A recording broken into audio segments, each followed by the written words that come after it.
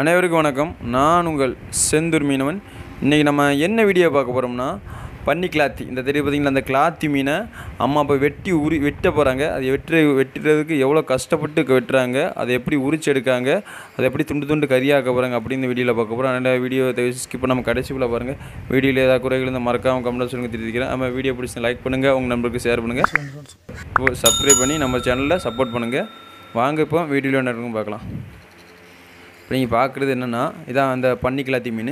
இந்த கிளாத்தி மீன் நமக்கு வந்து வலைக்கு போனாப்பில் வந்தது மீன் வலைக்கு போனாப்பில் வந்தது.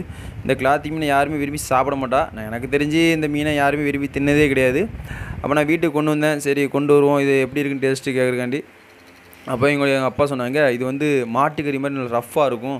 ஆனால் சாப்பிட்டா ரொம்ப நல்லாயிருக்கும் அப்படின்னாங்க. அப்போ எங்கள் அம்மா நான் வெட்டுறேன்னு சொல்லவும் அவங்க இப்போ அருவாமனை எடுத்து வெட்ட போகிறாங்க வெட்டுறாங்க. நீங்களே பாருங்கள் ரொம்ப கஷ்டமாக இருந்துச்சு அவங்களுக்கு வெட்டுறதுக்கு. பாருங்கள் அருவாமனையை காலில் வச்சு வெட்டினாங்க. என்றைக்குமே பெண்கள் வந்து அருவாமனை வந்து காலில் வச்சு தான் வெட்டுவாங்க. அப்படின்னாலுமே அவங்களால வெட்ட முடியல. அதுக்கப்புறம் என்ன பண்ணுறாங்கன்னா அமுக்கி எடுக்காங்க. ரொம்ப ரொம்ப ரஃப்பாக பாருங்கள் நீங்களே பாருங்கள் முள்ளு முள்ளாக தெரியுது பாருங்கள் இப்படி முள்ளு முள்ளாக இருக்குது அவங்களால ஒன்றுமே செய்ய முடியல. எப்படியாவது வெட்டணும். ஆனால் ரொம்ப கஷ்டமாக இருக்குது கொத்துறாங்க. இந்த கறியை கொத்துன மாதிரி கொத்துறாங்க பாருங்கள் இந்த கொத்த கொத்த என்ன ஆகுன்னா கொத்த கொத்த அருவா தான் அந்த அருவாமனை தான் மழுங்குது. மழுங்குதுன்னா அது வெ- ஒழுங்கா வெட்ட முடுக்கு. ஆனால் அந்த சதை அவ்வளோ ரஃப்பாக இருக்குது ரொம்ப ரஃப்பாக இருந்துச்சு பாருங்க கொத்திட்டாங்க. எப்படியோ கஷ்டப்பட்டு கொஞ்சம் கொத்திருக்காங்க. இழுக்க முடியல. ஏன்னா நம்ம சாதா கிளத்தி மஞ்சள் கிளத்தி பார்த்துருக்கீங்களா? அந்த மஞ்சள் கிளத்திலாம் உரிக்கிறது லேசாக கத்தி வச்சு வெட்டினாலும் வந்துடும் இது அவ்வளோ ரஃப்பாக இருந்துச்சு இந்த பண்ணி கிளத்தி. இந்த கிளாத்தி மீன் அதிகமாக யாரும் விரும்பி தின்ன மாதிரி தெரியல. ஏன்னா நானே இன்ன வரைக்கும் தின்னது கிடையாது. ஆனால் இது என்னென்னா இது மெனக்கெட்டு உரித்து நான் பொறிக்க பொறிச்சு திங்கிறதுக்காண்டி கொண்டு வந்தேன். பாருங்கள் ஒரு சைடை வெட்டியாச்சு. இப்போ அடுத்த சைடை வெட்டுறாங்க. பாருங்கள் எவ்வளோ டைட்டாக இருக்குது எவ்வளோ ரஃப்பாக இருக்குன்னு. இப்போ வந்து எங்கள் அப்பா அருவா தூக்கி போடுறாங்க. இதை வச்சு வெட்டி பார்க்குறக்காண்டி ஆனால் அவங்களுக்கு அருவா மட்டும் தான் நல்லாயிருக்கு நான் அவங்க கையில் பற்றக்கூடாது ரொம்ப கவனமாக வெட்டுறாங்க. நான் ரொம்ப வலுவுது மீன் கீழே ஸ்ட்ரென்த்தும் கிடைக்க மாட்டேங்குது. அப்போ அந்த ஸ்ட்ரென்த்து இல்லாதனால என்ன ஆகுதுன்னு கேட்டிங்கன்னா ஸ்ட்ரென்த்து அந்த ஸ்ட்ரென்த்தும் இல்லை. அவங்களுக்கு வெட்டுறதுக்கு பேலன்ஸ் கிடைக்க மாட்டேங்குது ஆனால் அப்படினாலும் அவங்க கஷ்டப்பட்டு வெட்டுறாங்க. இப்போ வந்து வெட்டலை அதை வெட்டி எடுக்காங்க. அதை கொத்துனா தான் அவங்களுக்கு நல்லாயிருக்கும். அதை கொத்த முடியல அவங்களே சார் வெட்டிட்டு கர கர கரன்னு வெட்டுறாங்க. இந்த மாட்டுக்கறி வெட்டினா எப்படி இருக்கும்? அந்த மாட்டுக்கறி ஒரு தோல் எவ்வளோ ரஃப்பாக இருக்கும்? அதே மாதிரியே தான் இருக்குது நமக்கு இந்த கிளாத்தி மாற்றி மாற்றி போட்டு வெட்டுறாங்க. அப்பவும் வெட்ட முடியல. திருப்பி அரைமணியை மாற்றி வச்சிட்டாங்க. காலுக்குள்ளே வச்சு திருப்பி உரிக்காங்க இது வெட்டு வெட்டுதான்னு பார்ப்போம்னு. கை ரொம்ப வலுவுது. அதனால் கையில் கொஞ்சம் மண்ணை முன்ன எப்பவும் தேய்ச்சிக்கிறாங்க. பார்த்தீங்களா இப்போ தான் லைட் லைட்டாக லைட்டாக வெட்டுறாங்க. இந்த வெட்டின பிறகு தான் என்ன ஆகும் கேட்டிங்கன்னா அதை வெட்டி உரிக்கணும். அதை உரிக்கிறதா இருக்குது திறமை. இது மிகப்பெரிய ஒரு திறமையான வேலை தான். ஏன்ட்ட கொடுத்தாங்கன்னா நான் முடிக்க எப்படியும் ஒரு ஒரு குறைஞ்சது ஒரு நாலு மணி நேரம் ரெண்டு மணி நேரமாக மூணு மணி நேரம் ஆகும். அவங்க ஒரு பத்து பதினஞ்சு நிமிஷத்தில் உரிச்சிட்டாங்க. பாருங்க இப்போ வெட்டினாங்களா திருப்பி அதை கொத்துவாங்க பாருங்கள் ரொம்ப அந்த தோலை பார்த்தீங்களா அது முள்ளு முள்ளாக இருக்குது அந்த தோல் மட்டும் ரொம்ப ரஃபாக இருக்குது இன்ன வரைக்கும் இந்த கிளாத்தி மீன் யாரும் சாப்பிட்டுக்கலான்னு தெரியல. நான் சாப்பிட்டு பார்த்தேன் ரொம்ப டேஸ்ட்டாக இருந்துச்சு. என்ன சொல்கிறது பெரிய பெரிய சீலா மீன் வாவல் மீன் மிச்சமாக இருந்துச்சு. இந்த மீன் என்னென்னா பொரிக்கணும் குழம்பு வச்சா டேஸ்ட்டாக இருக்குது. நல்லா பொரித்து சாப்பிட்டா நல்லா டேஸ்ட்டாக இருக்கிற மீன் தான் இது.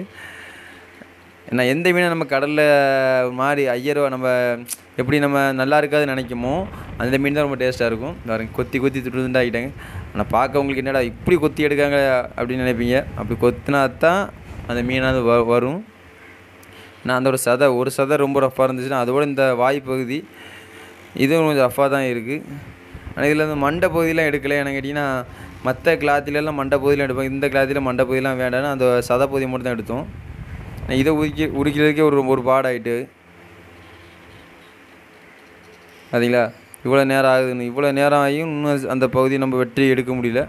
அவ்வளோத்துக்கு ரொம்ப ரஃப்பாக இருக்குது திருப்பி மறுபடியும் அருவாமனையை மாற்றி வச்சு கொத்துறாங்க.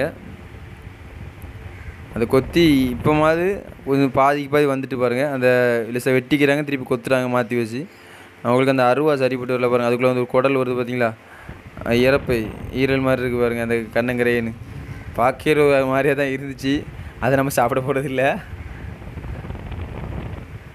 ஆனால் இந்த மீனை பார்த்தாலே அதோட பல்லை பாருங்களேன். பல் ஒரு வெளியே நிற்கி பாருங்கள் அந்த பல் அந்த மீனை நம்ம வந்து எப்படி சொல்லணும்னா பார்க்க ஒரு மிகப்பெரிய ஒரு வித்தியாசமாக தான் இருக்கும். சாப் மனிதர்கள் சாப்பிட்லாமா சாப்பிடக்கூடாதான்னு கேட்டால் சாப்பிட்லாம்.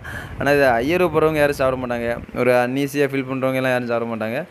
நம்ம எந்த மீனையுமே டேஸ்டிங் இல்லைன்னா நம்ம பொரிச்சு சாப்பிடுவோம். அதனால் அந்த மீன் டேஸ்டி இருக்கும்.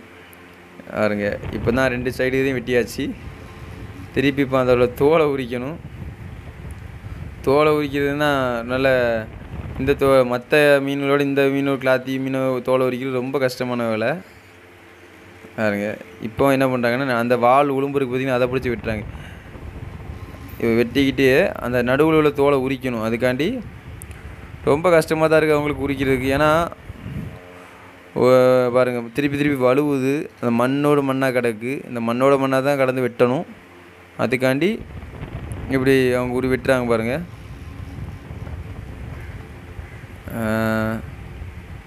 வெட்ட முடியல.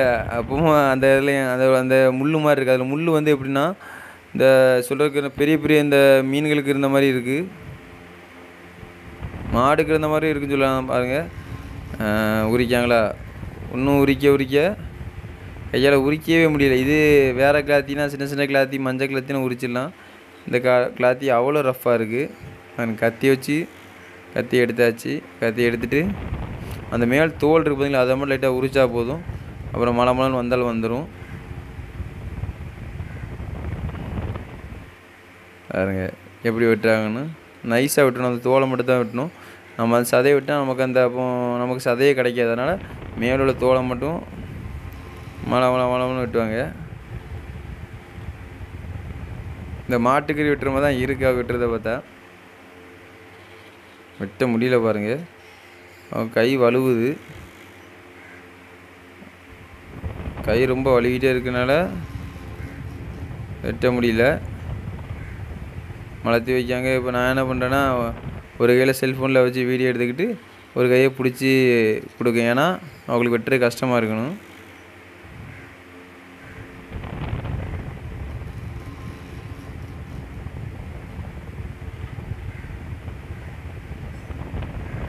பார்த்தீங்களா எவ்வளோ கஷ்டமாக இருக்கணும்?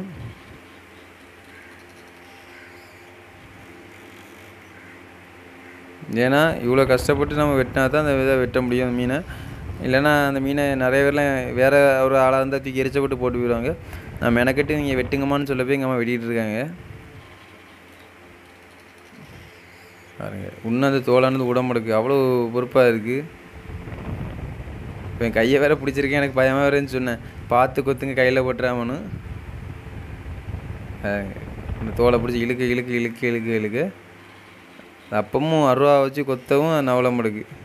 நம்மளுக்கு அந்த சதம் மட்டும் வந்துட்டு திருப்பி அவ்வளோதான் திருப்பி இந்த சைடு இப்போ நம்ம என்ன பண்ண போகிறோம்னா திருப்பி இந்த சைடு வெட்ட போகிறோம் அதுக்கும் லைட்டாக என்ன பண்ணுறாங்கன்னா வேற ஒன்றும் இல்லை. அதே லேசாக கத்தி வச்சு கோடு போட்டுட்டு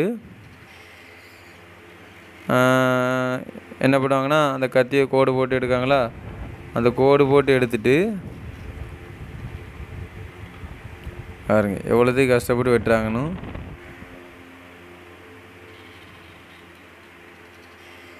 வெட்டினாலும் வர மாட்டேங்குது. அவ்வளோத்துக்கு இருக்குது அந்த மீனோட சதை. பாருங்க மேல் தோலை வெட்டுறாங்க.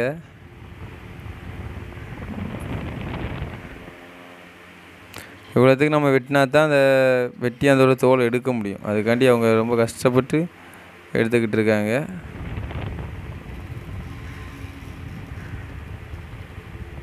இப்போ வெட்டிட்டாங்க. லைட் லைட்டாக லைட் லைட்டாக உளும்பு வெட்டியாச்சு.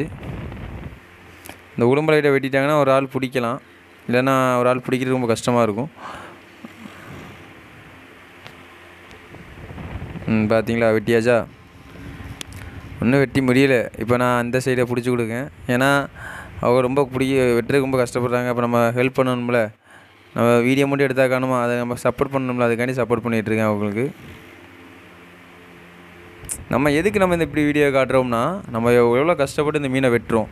ஆனால் நம்ம இந்த மீனை வெட்டுறதை மட்டும் எடுத்து அது எவ்வளோ எவ்வளோ நேரம் ஆகுது அப்படின்னு தான் இந்த வீடியோவில் காட்டுறோம். பாருங்கள் குறைஞ்சது பத்து நிமிஷத்துக்கு மேலே ஆகிட்டு அப்படி இருந்தாலும் இன்னும் ஒரு சைடு தான் வெட்டிக்கிட்டு இருக்காங்க. வெட்டி உண்டா ரெண்டா சைடு போய்கிட்டு இருக்கு. எனக்கு பயமாக வேறு இருக்குது கையில் பட்டுருமோனும் அதனால் கையை கை எடுக்கும் பாருங்கள் நான் அவங்க தைரியமாக பிடிச்சிருக்காங்க.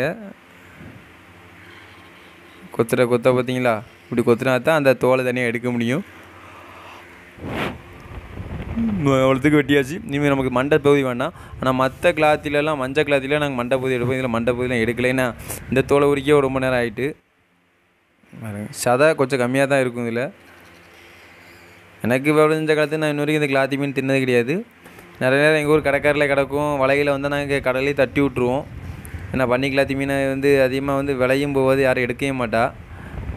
ஆனால் இந்த மீனில் இவ்வளோ டேஸ்ட் இருக்குமோ அதை சாப்பிட்ட பிறகு தான் எனக்கு தெரிஞ்சிச்சு. நாங்கள் இறப்பை எல்லாத்தையும் இவ்வளோ இவ்வளோ வெட்டி எடுக்காங்க.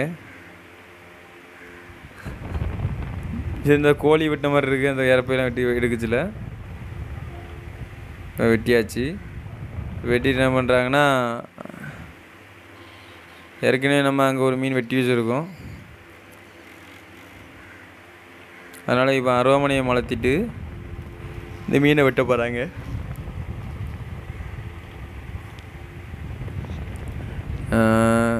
அதை அரிசி அருவமனையை கழுவுறாங்க. எதுக்குன்னா அந்த அதோட மலுங்கல் இருக்கணும். சதை ரொம்ப க- கொஞ்சம் கம்மியாக தான் இருந்துச்சு. ரொம்ப கம்மி. ஏன்னா நமக்கு மண்டை போதி வெட்டினா கொஞ்சம் சதை கிடைக்கும். அந்த மண்டை போதி நம்ம வெட்டலை. ஏன்னா இந்த மீன் எவ்வளோ டேஸ்ட்டாக இருக்கும் நமக்கு தெரியாது. அதனால் பயந்துக்கிட்டே நம்ம வந்து எல்லாத்தையுமே இப்போ கொஞ்சம் கொஞ்சமாக தான் வெட்டி வெட்டி எடுத்தோம்.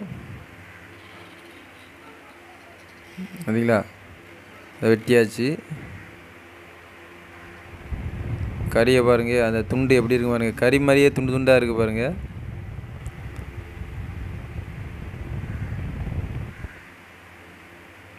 எவ்வளோ நேரம் இருக்குன்னு. அவங்களுக்கு அவங்களுக்கு கையில் பட்டுட்டு எஸ் அரு அருவாமனை. அந்த அருவாமனை மழுங்கலாக இருக்கும் பார்த்தீங்களா இவ்வளோ நேரம் ஆகிருக்கு ஒரு மீனை வெட்டுறதுக்கு. ஏன்னா அந்த நல்ல கத்தியாக இருந்தால் அவங்களுக்கு வெட்டுறதுக்கு நல்லா இருக்கும். உங்களுக்கு கத்தி வேறு சரியானால கொஞ்சம் நேரம் ஆகிட்டு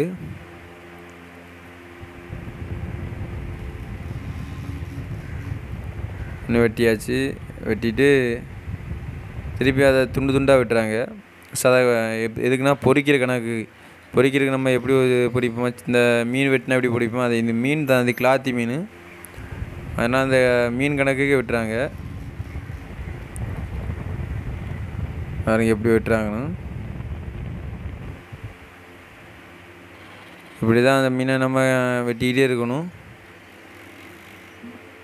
இந்த வெட்டி அதில் போட்டுட்டாங்க. திருப்பி நம்மளுக்கு எவ்வளோ கிளாத்தி மீன் வந்திருக்கு எவ்வளோ மீன் வெட்டியிருக்குன்னு பாருங்கள் சதை. ஒரு பார்க்க மிகப்பெரிய ஒரு பெரிய கிளாத்தி மீன். நான் அதில் வந்திருக்க சதையை பாருங்கள் மொத்தத்துக்கு ஒரு ஒரு நாலஞ்சு ஒரு பத்து பதினஞ்சு துண்டு தான் வந்திருக்கு. இன்னும் நமக்கு இதில் ஒரு இன்னும் நாலஞ்சு துண்டுகள் வரும். ஒரு சைடில் வெட்டியிருக்காங்க. திருப்பி ஒரு நாலஞ்சு துண்டுகள் வெட்டணும். நம்ம அடுத்து நம்ம இந்த கிளாத்தி மீன் பொரித்து எப்படி அது டேஸ்ட்டாக இருந்துச்சு அப்படின்னு பார்ப்போம். ஆனால் இந்த வீடியோவில் வந்து நம்ம இந்த கிளாத்தி மீன் வெட்டுறது மட்டும் தான் காட்டுறோம். ஓகே. எவ்வளோ பிடிச்ச பிடிச்சா வெட்டுறாங்க பாருங்க. கறி வெட்டின மாதிரியே.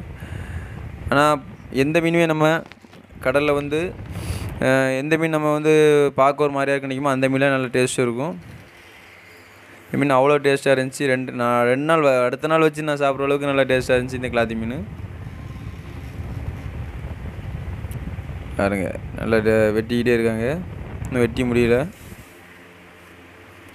நல்ல பிடிச்சி பிடிச்ச துண்டு வெட்டுறதுனால அந்த சதையில் துண்டு ஜாஸ்தியாக விழுது